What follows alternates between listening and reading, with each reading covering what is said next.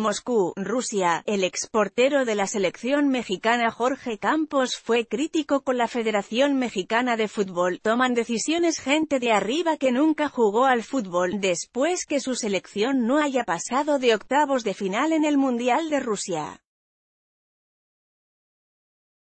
Lee también, Chucky Lozano cerca de llegar al Manchester United Campos, en un acto organizado por la FIFA en la Plaza Roja, lamentó la oportunidad perdida de la selección de su país ya que países que habitualmente llegan lejos esta vez no lo hicieron.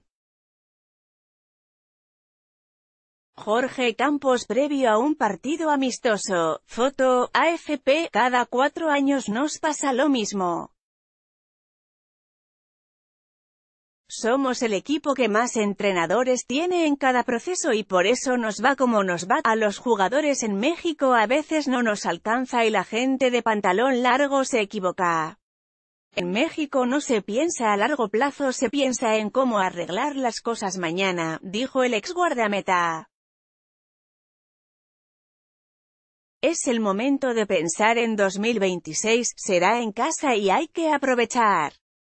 Campos, Rusia ha sido un ejemplo a seguir, nos dio una cátedra a todos, nos enseñó lo que es apoyar, vivir y organizar un mundial. Me emocioné con los penaltis. Nadie pensaba que iban a eliminar a España.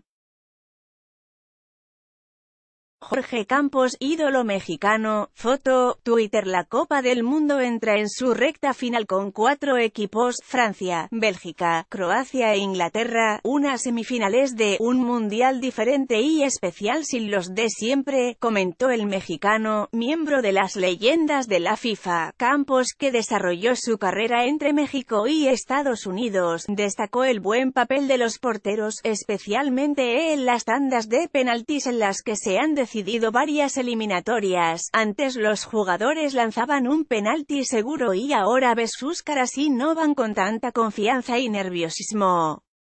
Campos exportero mexicano, foto, AFP, nadie le da mérito a unos porteros que ahora paran dos o tres penaltis por serie y es algo especial para los porteros, no se emociona como le pasó a Casper Schmeichel con su padre en la grada. Yo paré un penalti a Brasil y fue muy emocionante, pero ahora detienen muchos penaltis y nadie lo valora.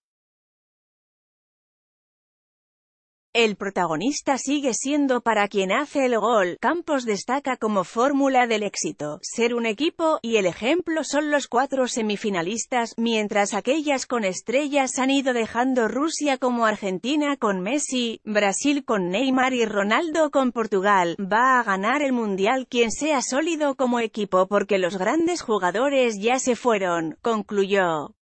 En esta nota, Fútbol Jorge Campos México-Rusia 2018 Mundial de Rusia 2018